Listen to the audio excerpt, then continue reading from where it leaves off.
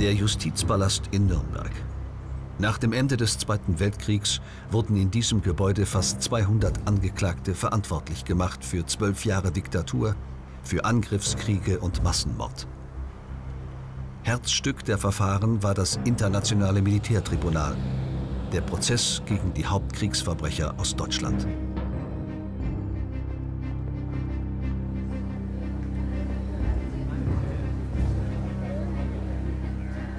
Am 20. November 1945 werden 20 hochrangige Naziführer mit dem Aufzug in den Gerichtssaal gebracht. Hermann Göring spielt bereitwillig den Nazi Nummer 1. Ihm folgen Großadmiral Karl Dönitz, den Hitler in seinem Testament zum Reichspräsidenten ernannte, sowie Hitlers Stellvertreter Rudolf Hess. Erstmal ist dieser Nürnberger Prozess eine ungeheure zivilisatorische Leistung. Wenn man sieht, dass man davon abkommt, nach diesem grauenhaften Krieg, nach dieser Gewaltexplosion, jetzt mit standrechtlichen Erschießungen oder schnellen Lösungen zu einem Ergebnis zu kommen, sondern wenn man tatsächlich sieht, hier wird bürokratisch, systematisch ein Prozess vorbereitet, ein Prozess geplant und schließlich durchgeführt. Das ist ja etwas, was es in der Weltgeschichte so noch nicht gegeben hat. Auf der Anklagebank sitzen skrupellose Minister und fanatische Ideologen, gnadenlose Militärs und barbarische Vollstrecker von Hitlers Wahn.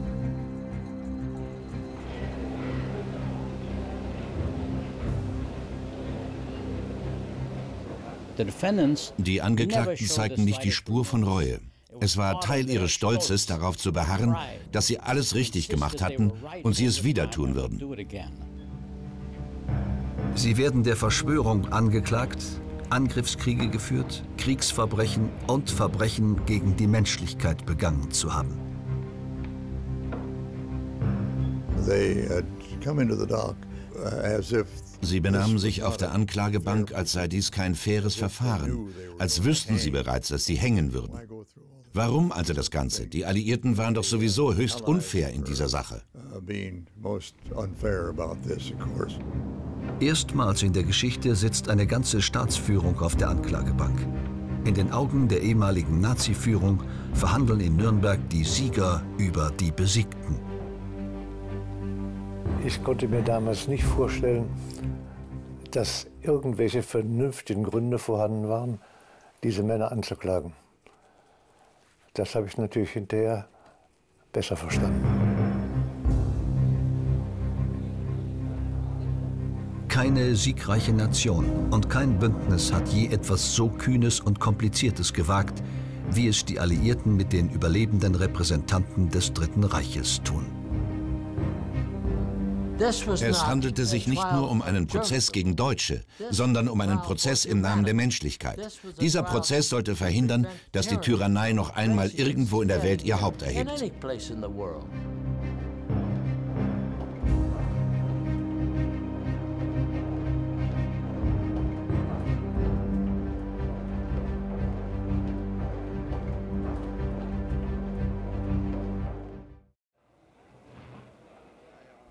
Die Anklage wirft Ernst Kaltenbrunner unter anderem vor, er habe bei seinen Besuchen im Konzentrationslager Mauthausen an Hinrichtungen teilgenommen, den Bau der Vergasungsanlage angeordnet und 1945 den Befehl Himmlers weitergeleitet, die überlebenden Häftlinge zu liquidieren.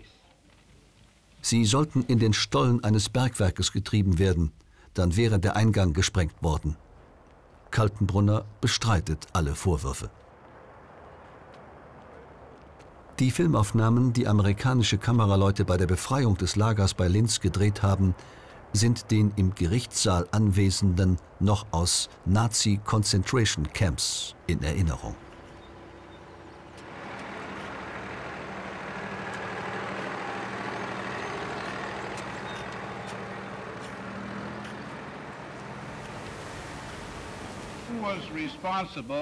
Wer war kurz vor Ende des Krieges für den Befehl verantwortlich, alle Insassen des Konzentrationslagers Mauthausen zu töten? Haben Sie die Frage verstanden, Angeklagter? Ja, Sie haben mich gefragt, wer diesen Befehl auf Tötung von Häftlingen am Kriegsende in Mauthausen gegeben hat. Darauf antworte ich, ein solcher Befehl ist mir nicht bekannt. Ich habe einen einzigen Befehl nach Mauthausen gegeben, der zum Inhalt gehabt hat, das gesamte Lager und alle Häftlinge sind ohne jede Misshandlung dem Feinde zu übergeben. Dieser Befehl ist in Gegenwart des Zeugen Dr. Höttl von mir diktiert worden und durch einen Offizierskurier nach Mauthausen geschickt worden. Ich verweise auf die Aussage Höttl, in welcher er dies ausdrücklich bestätigt.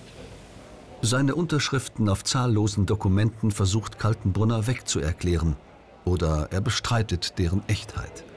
Sein hartnäckiges Leugnen erzeugt Bewunderung.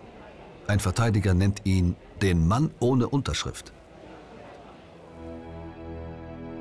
In ganz Europa fahnden die Ermittler immer noch nach flüchtigen Schergen Heinrich Himmlers. Zu den meistgesuchten zählt Rudolf Höss, der Kommandant des Vernichtungslagers Auschwitz. Die Ankläger erhoffen sich von ihm nähere Auskunft über die Funktionsweise der Todesfabrik und endlich genaue Zahlen der Opfer.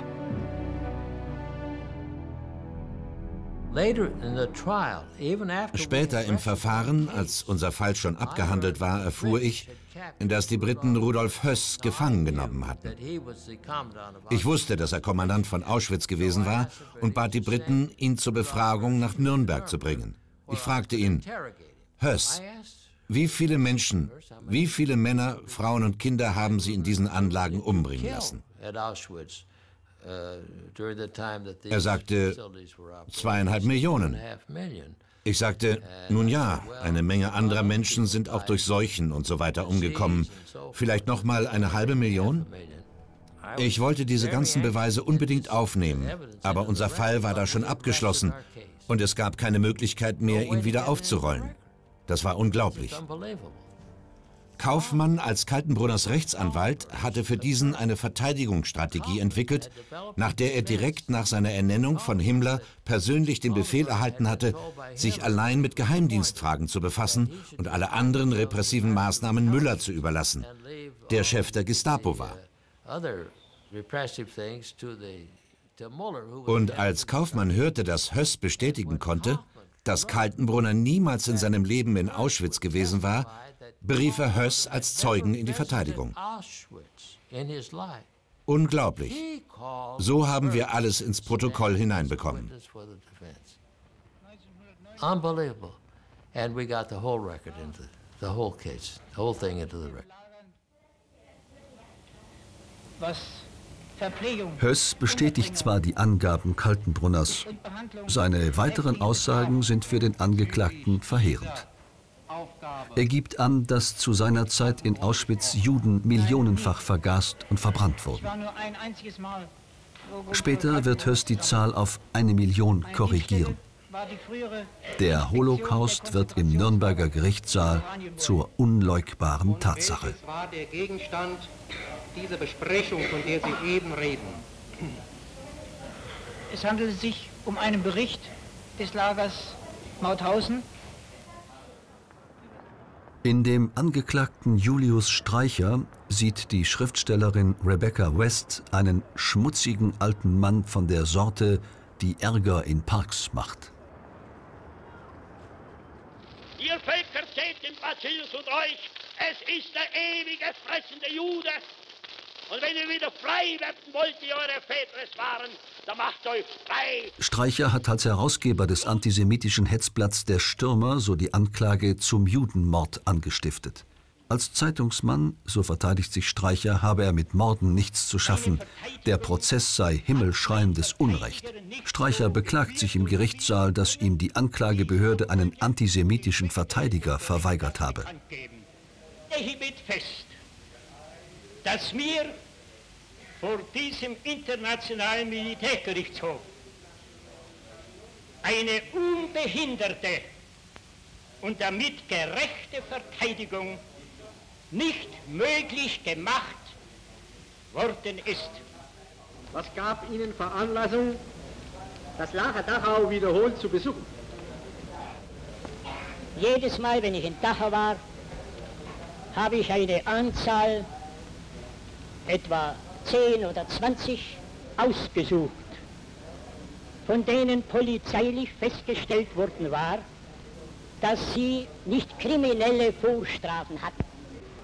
Und ich konnte für diese Leute die Garantie übernehmen. Ich kenne nur einen Fall, in dem ich mit der Auswahl von den Herausgeholten daneben langte. Karl Dönitz meint, keiner seiner Marineoffiziere hätte Streicher mit seiner schmutzigen Weste auch nur mit der Feuerzange angefasst. Der Großadmiral beschwert sich, es sei schlimm genug, die ganze Zeit bei Gericht dabei sitzen zu müssen, und er sei froh, dass sein Fall nun bald verhandelt würde. Am 8. Mai 1946, auf den Tag genau ein Jahr nach der bedingungslosen Kapitulation der Wehrmacht, geht Dönitz selbstbewusst in den Zeugenstand. I swear by God, Ich schwöre bei Gott, the Almighty and Omniscient, dem Allmächtigen und Wir haben selbstverständlich alle Anklagepunkte, die wir kannten, genauestens durchgesprochen. Besonders die, die uns beide am meisten interessierten, nämlich die den Seekrieg, den U-Boot-Krieg angingen. Ich habe vielleicht den Fehler gemacht, die anderen Dinge zu unterschätzen. Und da ist er in seinem Kreuzfeuer ja auch äh, nicht so sehr glücklich gewesen. Und ich muss auch wieder sagen, in seinen politischen Äußerungen war ich von vornherein völlig anderer Ansicht und fand die also ziemlich schlimm. Er sagte ja immer, und das war ehrlich, er hat Hitler bis in die letzte Zeit hinein für einen ganz großen Mann gehalten. Verteidiger und Mandant sind vorbereitet. Haben Sie sich vor diesem Auslandsaufenthalt oder nach Ihrer Rückkehr 1935 bis zu Ihrer Ernennung zum Oberbefehlshaber der Kriegsmarine im Jahre 1943 irgendwie politisch betätigt? Ich habe mich politisch betätigt, erst am 1. Mai 1945 als Staatsoberhaupt wurde, vorher nicht.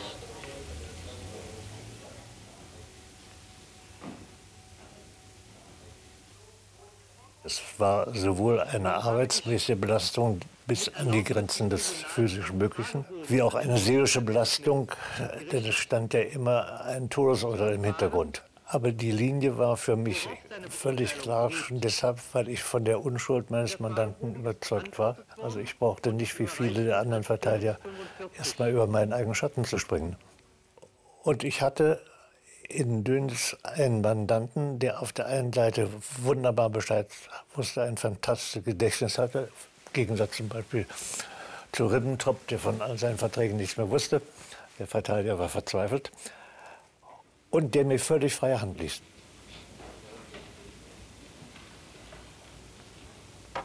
Dann folgen die Kreuzverhöre.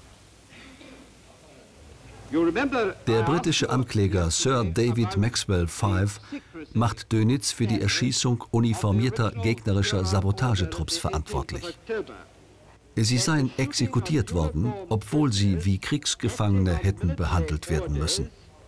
must be carried out even after they have surrendered voluntarily and asked for pardon. Do you agree? Geben Sie zu, dass das der Grund war, warum der Befehl geheim gehalten wurde? Ja, das weiß ich nicht. Das kann ich nicht sagen, weil ich diese, diesen Kommandobefehl nicht herausgegeben habe. Sie waren Oberbefehlshaber der Kriegsmarine. Wollen Sie behaupten, dass Sie nicht imstande sind, diese Frage zu beantworten? Dies ist Ihre letzte Gelegenheit. Wollen Sie antworten oder nicht? Ja, das will ich tun. Ich halte das für möglich, zumal der Jurist hier dieser Ansicht ist. Ob das stimmt, weiß ich nicht, weil ich den Befehl nicht herausgegeben habe. Andererseits steht in dem Befehl drin, dass diese Dinge im Wehrmachtsbefehl veröffentlicht werden. Einen Hauptvorwurf der Anklage, Dönitz U-Boote hätten ohne Vorwarnung Handelsschiffe versenkt, kann Verteidiger Kranzbühler ausräumen. US-Admiral Nimitz bestätigt, dass die Pazifikflotte der USA sich ebenso verhalten habe. Hitlers Leibarchitekt und Rüstungsminister Albert Speer hat eine Verteidigungsstrategie, die von den anderen Angeklagten abgelehnt wird. Übernahme allgemeiner Schuld, Abstreiten persönlicher Verantwortung. Der Sklaventreiber für die Rüstungsbetriebe Fritz Saukel soll, so Speers Kalkül, für die gemeinsam begangenen Verbrechen zur Rechenschaft gezogen werden. Der Generalbevollmächtigte für den Arbeitseinsatz hatte Speer acht Millionen ausländische Zwangsarbeiter beschafft. Das Elend der verschleppten, misshandelten und verhungerten Sklavenarmee im Nazireich geht auf sein Konto. Hilflos sitzt er im Zeugenstand. Allen ist klar, dass der brutale und primitive Mann an den Galgen kommt.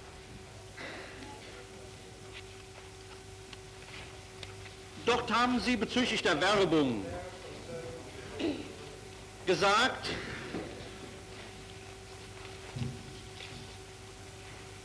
man müsste einmal Shanghai, wie das früher Mode gewesen wäre, um die Arbeiter zu bekommen.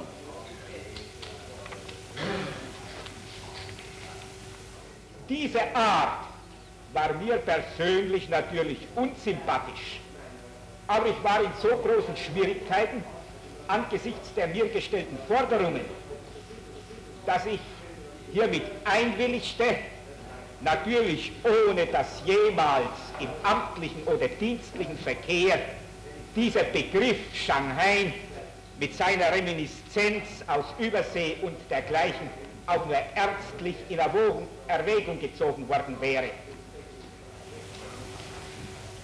Die spannende Frage für alle Prozessbeobachter ist, ob Saukels Vorgesetzter Albert Speer seinen Hals aus der Schlinge ziehen wird. Als Rüstungsminister hat er Heerscharen von Zwangsarbeitern und KZ-Häftlingen in seinen Betrieben eingesetzt. Infolgedessen wirft ihm die Anklage Kriegsverbrechen und Verbrechen gegen die Menschlichkeit vor.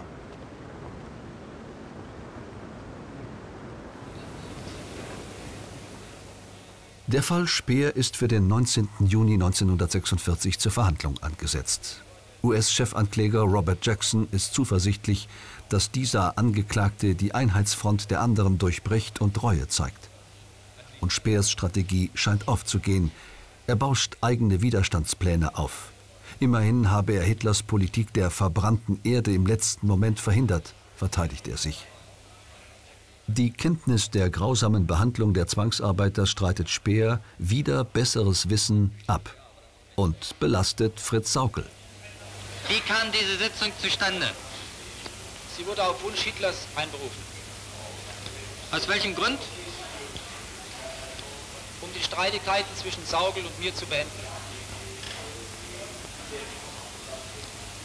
Was war die Entscheidung Hitlers? Die Entscheidung war ein unbrauchbarer Kompromiss wie oft bei Hitler. Die Sperrbetriebe sollten aufrechterhalten werden und Sauge ließ sich dazu den Auftrag geben, drei Millionen Arbeits, dreieinhalb Millionen Arbeitskräfte aus den besetzten Gebieten zu holen. Dabei gab Hitler schärfste Weisung über OKW an die Militärbefehlshaber, den Forderungen Saugels mit allen Mitteln nachzukommen. Waren Sie mit dieser Entscheidung einverstanden? Nein, keineswegs. Von ihm eine, Neu eine Lieferung des neuen Giftgases verlangt, um damit ein Attentat gegen Hitler... Speers unbewiesene Behauptung, er habe gegen Kriegsende gar den Diktator selbst umbringen wollen, kommentiert Göring mit den Worten, wir hätten ihm nie vertrauen sollen. Es blieb meiner Ansicht nach kein anderer Ausweg, Und in meiner Verzweiflung wollte ich diesen Schritt gehen. Denn es war mir ab Anfang Februar klar geworden, dass Hitler mit allen Mitteln ohne Rücksicht auf das eigene Volk den Krieg fortsetzen wollte. Es war mir klar, dass er beim Verlust des Krieges sein Schicksal mit dem des deutschen Volkes verwechselte. und dass er in seinem Ende auch das Ende des deutschen Volkes sah. War außerdem klar, dass der Krieg so vollständig verloren war, dass auch die bedingungslose Kapitulation angenommen werden musste. Wollten Sie das Attentat selbst durchführen? Warum scheiterte diese Ihre Absicht? Ich möchte über die Einzelheiten hier nicht weiter mich ausführen. Ich konnte es nur persönlich durchführen, weil seit dem 20. Juli nur ein engerer Kreis noch Zutritt zu Hitler hatte. Speer denied knowledge of extermination plans, extermination camps. Speer leugnete, von Vernichtungsplänen und Vernichtungslagern gewusst zu haben. Aber für den Militärapparat, die Militarisierung, die Sklavenarbeit hat Speer grundsätzlich Verantwortung übernommen. Jackson hat kein Schuldeingeständnis eines Angeklagten bekommen, aber er hat einen, der sich bekennt, der den Bemühungen der Anklage wohlgesonnen ist. Und das legitimierte Jacksons Handeln. Indem Speer sich verteidigte, verhört von Jackson, wurde er zu einem wichtigen Zeugen für die Sache.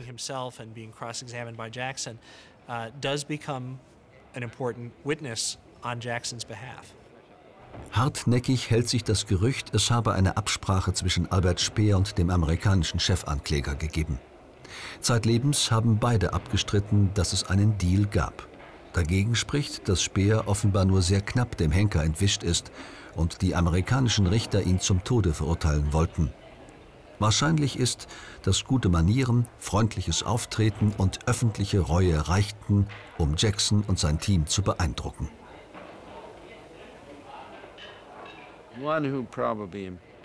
Am meisten beeindruckt hat mich Albert Speer. Nicht gleich am Anfang, aber später in der Beweisaufnahme. Er war einer der wenigen, die sich beinahe schuldig bekannt hätten. Er gab Verbrechen des Regimes zu, wollte sie aber in den meisten Fällen nicht selbst begangen haben.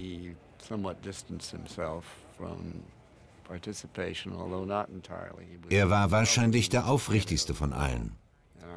Und ich war außerordentlich beeindruckt wegen seiner Versuche, ganz am Ende des Krieges Hitlers Befehl der verbrannten Erde, der Zerstörung von allem, zu sabotieren. Thwart Hitler's orders for the scorched earth, destruction of everything. Am 4. Juli 1946, nach über 170 Verhandlungstagen, beginnen die Plädoyers. Zunächst der Verteidiger, dann der vier Chefankläger. Die Fronten sind auch nach fast acht Monaten unverändert. Herr von Ribbentrop und mancher der anderen Angeklagten besaßen ohne Zweifel bedeutende Macht ihrer eigenen Hitler nicht interessierenden Sphäre. Eine Teilnahme an den großen Entscheidungen über Krieg und Frieden, Waffenstillstand, Friedensangebote und so war ihnen völlig versagt. In der Stellung des Außenministers, wie Herr von Ribbentrop sie bekleidete, konnte kein selbstständiger Kopf gebraucht werden. Alles, was den Anschein einer Beratung hat, ist in Wahrheit Befehlsempfang. Für Robert Jackson sind die notwendigen Beweise für die Schuld aller Angeklagten erbracht worden. In seinem Schlussplädoyer beschwört er noch einmal die Vision von der Kriminalisierung von Angriffskriegen. Seinen Glauben, dass die Welt von nun an Aggressoren nie wieder straflos davonkommen lassen wird.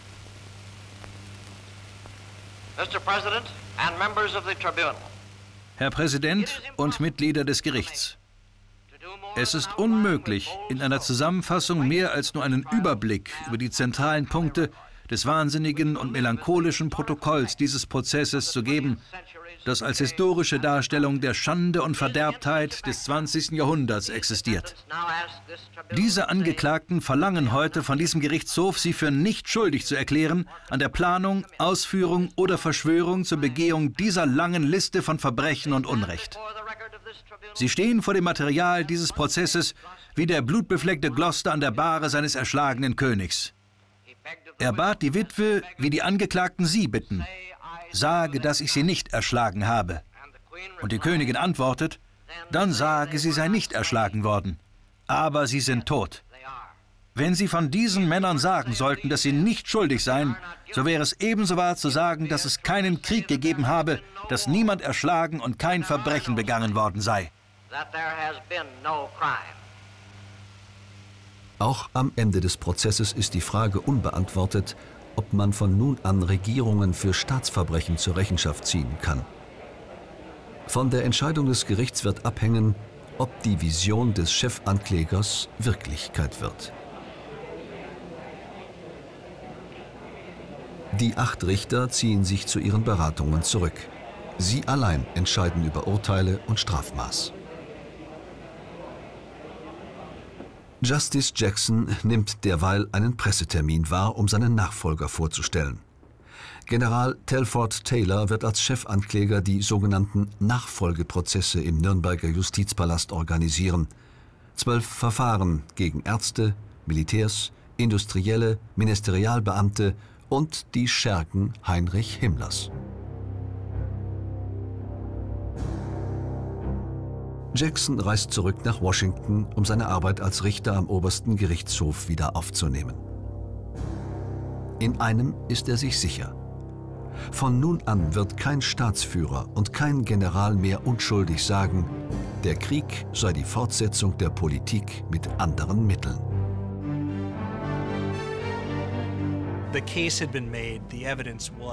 Der Fall war gelaufen. Die Beweise waren überwältigend. Die Angeklagten waren nicht imstande gewesen, sich zu rechtfertigen oder ihre Unterschriften abzustreiten, ihre Anwesenheit bei Konferenzen, ihr Wissen um all die Aspekte der Anklagepunkte. Gegen Ende der Verhandlung war sich Jackson also sicher, dass er als Ankläger seinen Job gemacht hatte. Er war einigermaßen besorgt, was die Richter nun tun würden. Er erwog nicht einmal die Möglichkeit, dass der Fall verloren werden könnte, dass es zu Freisprüchen kommen könnte bei einer großen Anzahl individueller und einzelner Anklagepunkte.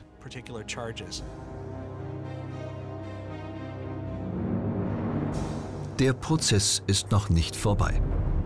Vier weitere Wochen werden sich Ankläger und Verteidigung mit den Organisationen befassen, die mit den Nazi-Führern zusammen als verbrecherisch angeklagt sind. Neben SA und SS auch die Reichsregierung und das Oberkommando der Wehrmacht. Dann endlich, am 31. August 1946, bekommen auch die Angeklagten die Gelegenheit zu einem Schlusswort. Die meisten behaupten noch immer, sie hätten persönlich in gutem Glauben gehandelt oder Befehle befolgt. Hermann Göring gibt nun auch die letzte Schlacht für seinen Führer verloren. Hitler, so verrät er dem Gerichtspsychologen, habe sich selbst verurteilt. Es ist sein letzter großer Auftritt. Ich habe keinen Krieg gewollt oder herbeigeführt. Ich habe alles getan, ihn durch Verhandlungen zu vermeiden. Als er ausgebrochen war, tat ich alles, den Sieg zu sichern. Vorweg äußere ich die Bitte an das Gericht im Hinblick auf meinen Gesundheitszustand sitzen bleiben zu dürfen. Certainly.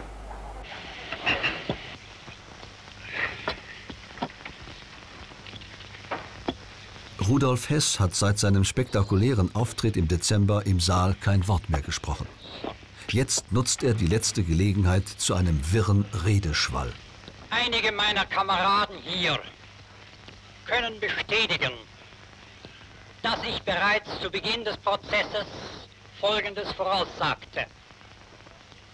Erstens, es würden hier Zeugen auftreten, die unter Eid unwahre Aussagen machen. Zwischenfügen möchte ich noch hinsichtlich meines Eides.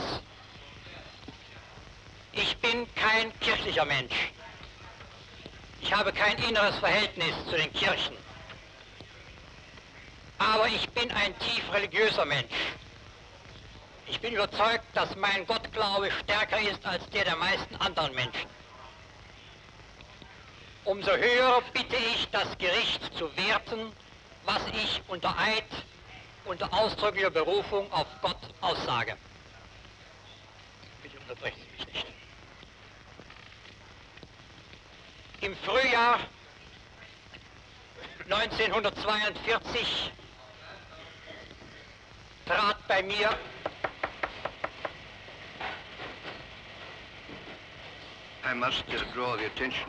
Ich muss den Angeklagten Hess leider unterbrechen. Er hat schon mehr als 20 Minuten geredet. Das Gericht hat den Angeklagten jedoch mitgeteilt, dass es ihnen nicht erlaubt ist, jetzt noch Erklärungen großer Länge abzugeben. Wir müssen heute noch alle Angeklagten hören. Das Gericht hofft daher, dass der Angeklagte Hess seine Rede beendet.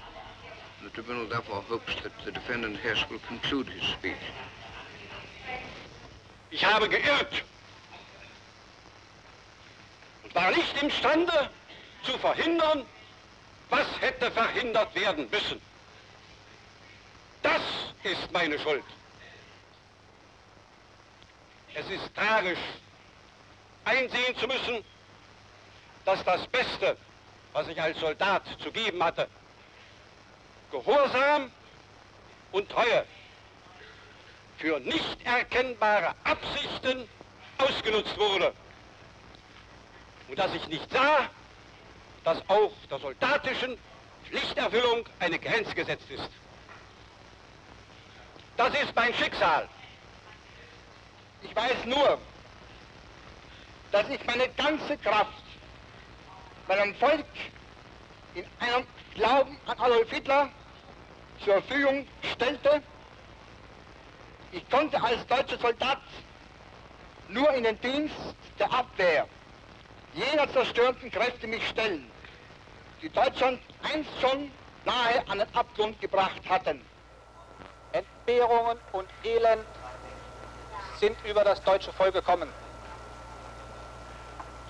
Es wird nach diesem Prozess Hitler als den erwiesenen Urheber seines Unglücks verachten und verdammen. Die Welt aber wird aus dem Geschehen lernen, die Diktatur als Staatsform nicht nur zu hassen, sondern zu fürchten. Was bedeutet mein eigenes Schicksal nach allem, was geschehen und bei einem solch hohen Ziel? Der Justizpalast von Nürnberg leert sich. Die Richter tagen hinter verschlossenen Türen. Das Herzstück der Anklage, der Vorwurf der Verschwörung, bereitet vor allem den amerikanischen Richtern Probleme. Kann man in einem machtlosen Ja-Sager wie Wilhelm Keitel einen ruchlosen Verschwörer sehen? Oder verstecken sich alle Beteiligten an den maßlosen Verbrechen nur hinter Hitler, haben ihn aber bedingungslos unterstützt, als er sie plante und ausführte? Robert Jackson ist unruhig. Er kehrt aus Washington nach Nürnberg zurück, um in der Nähe des Geschehens zu sein. Er fragte sich, was genau das Tribunal tun würde, besonders als es den ersten Termin verstreichen ließ und weitere zehn Tage brauchte. Vielleicht ist das nur natürlich, so wie in alten Zeiten ein Vater von dem Entbindungszimmer ausharrte oder ein Anwalt vor dem Raum der Geschworenen. Man wartet auf ein Urteil, man wartet auf ein Ereignis, man ist nervös. Vier Wochen beraten die Richter, debattieren über Urteilsbegründungen und Strafen. Man prüft noch einmal in jedem Einzelfall die Beweise. Manches Urteil fällt schnell, andere Angeklagte sind heftig umstritten. Die französischen Richter scheuen die Todesstrafe, desgleichen den Freispruch. Die sowjetischen Richter sind überzeugt, dass alle ausnahmslos ihr Leben verwirkt haben. Draußen werden Wetten abgeschlossen.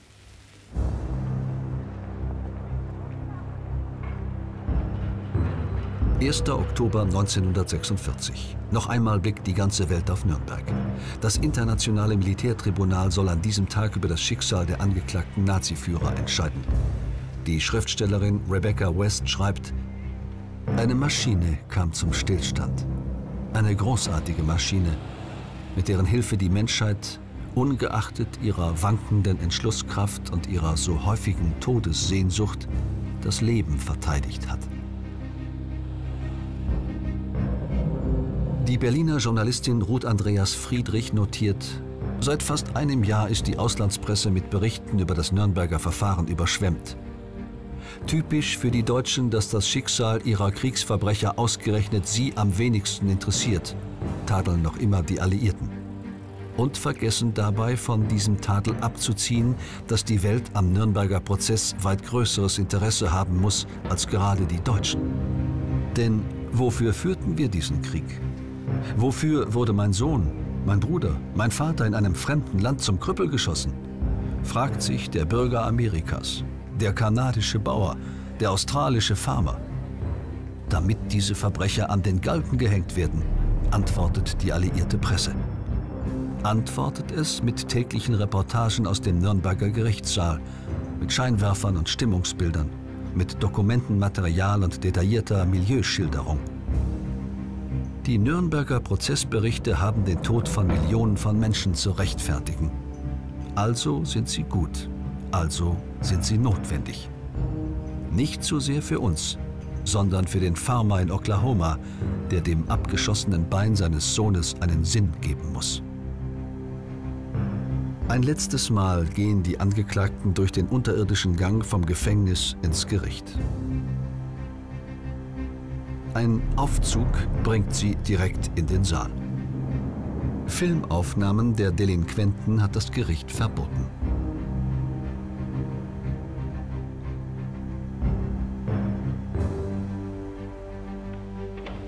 Die Angeklagten betreten einzeln den Saal. So konzentriert sich die Aufmerksamkeit des gesamten Saales auf einen Mann. Als erster erscheint Hermann Göring. Doch es gibt technische Probleme. Göring war nicht in der Lage, Lord Lawrence zu hören. Er sagte, etwas sei mit seinem Kopfhörer nicht in Ordnung. So gab es eine merkwürdige Verzögerung bei Göring. Sie nahmen ihm den Kopfhörer weg und gaben ihm einen anderen. Dann stand Göring auf und Lord Lawrence verkündete das Urteil.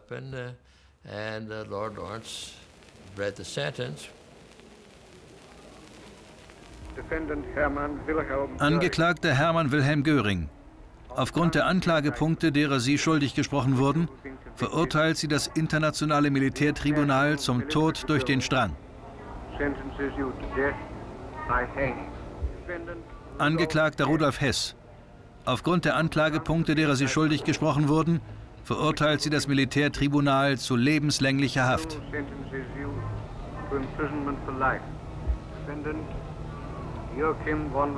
Angeklagter Joachim von Ribbentrop. Aufgrund der Anklagepunkte, derer sie schuldig gesprochen wurden, verurteilt sie das Militärtribunal zum Tod durch den Strang. Angeklagter Julius Streicher. Aufgrund der Anklagepunkte, derer sie schuldig gesprochen wurden, verurteilt sie das Militärtribunal zum Tod durch den Strang.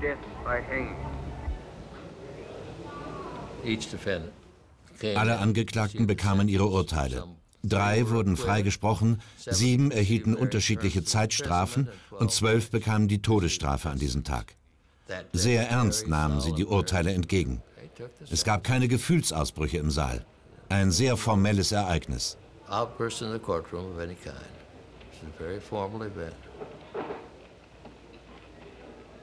Auch für Alfred Jodl und Wilhelm Keitel, Fritz Saukel und Ernst Kaltenbrunner, Hans Frank und Alfred Rosenberg heißt das Urteil Tod durch den Strang. Martin Bormann wird in Abwesenheit zum Tode verurteilt.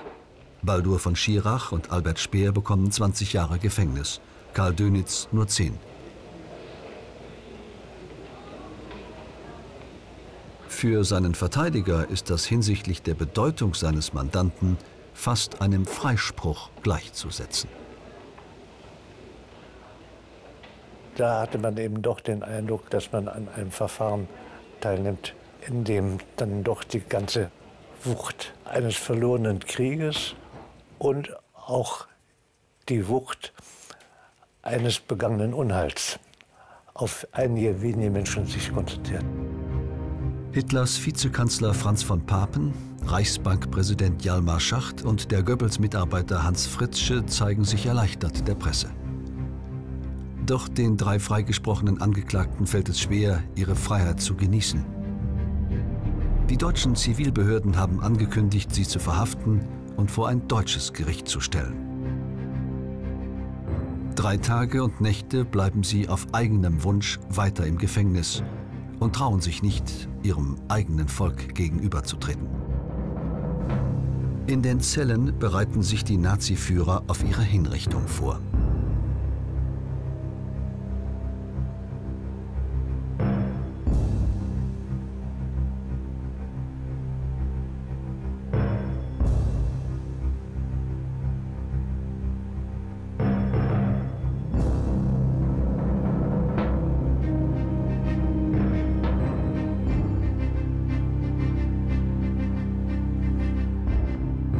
Hermann Göring bittet darum, erschossen zu werden.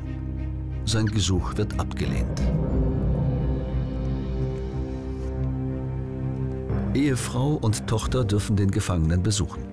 Emmy Göring glaubt noch immer, man werde ihren Mann nicht aufhängen, sondern auf einer Insel internieren, wie Napoleon. Göring versichert ihr, aufhängen werden sie mich nicht. Schon vor Monaten hat er sich mit dem amerikanischen Wachsoldaten Tex Willis angefreundet, der für ein signiertes Foto oder andere Erinnerungsstücke Göring gerne einen Gefallen tut. Immerhin befinden sich im Lagerraum des Gefängnisses zahlreiche Koffer und Taschen, die dem Reichsmarschall gehören.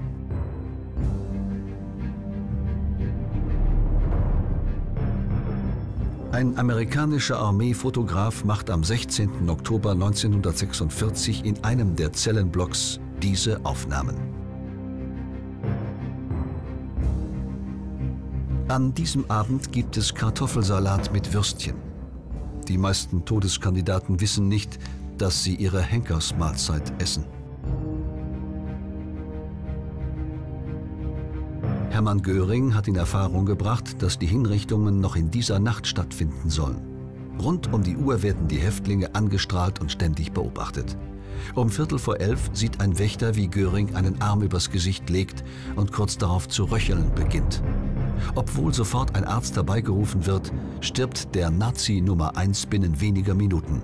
Oberst Andrews hat seinen prominentesten Delinquenten verloren. Wie Göring an die Zyankali-Kapsel gelangte, ist bis heute ungeklärt. In seinem Abschiedsbrief behauptet er, sie seit seiner Verhaftung bei sich getragen zu haben. Nach reiflichem Überlegen habe ich mich entschlossen, selbst in den Tod zu gehen, schreibt er, und mich nicht auf diese Weise durch meine Feinde hinrichten zu lassen. Eine Viertelstunde nach Mitternacht reißt Oberst Andrews die Zellentüren im ersten Stock auf, um den Häftlingen nochmals die Todesurteile vorzulesen. Nur eine Handvoll Journalisten darf über die Hinrichtungen berichten. Hier ist Arthur Gaith mit einem Bericht aus Nürnberg für den Vereinigten Amerikanischen Rundfunk. Ich war Augenzeuge der Hinrichtung der welken, verdorbenen Blüte des Nazitums. Dort in der 43 mal 78 Fuß großen Halle, die die Streitkräfte bis letzten Sonntag für ihre Basketballspiele genutzt hatten, fanden wir die Hinrichtungskammer vor. Auf der hinteren Breitseite des Gebäudes hatte man drei Schaffotte montiert. Die Falltüren waren mit schwarzen Vorhängen dem Blick verborgen worden. Es herrschte eine stille, ernste Atmosphäre, obwohl der gut erhellte Raum keinerlei Mobilität ausstrahlte.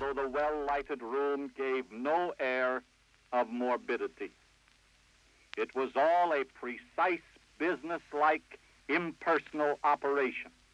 Doch ich habe nur zehn Nazis sterben sehen. Wilhelm Hermann Göring in allen vier Anklagepunkten schuldig gesprochen. Der Mann, den Jackson beschrieb als halb Militarist, halb Verbrecher, entkam seiner Hinrichtung, indem er um 10.45 Uhr letzte Nacht Selbstmord verübte, weniger als drei Stunden bevor er exekutiert worden wäre less than three hours before he would have been executed.